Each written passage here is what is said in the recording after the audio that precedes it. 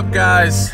This is uh, kind of a heartfelt video. Uh, as you guys can tell, um, we just got destroyed by a storm. I'll definitely be showing you guys um, the footage of this here in a second, but I just want you all to know that nobody was hurt except one person, opposite tent on the other side, and he ended up suffering a broken arm um, because he was trying to hold the tent or something or whatever the case was.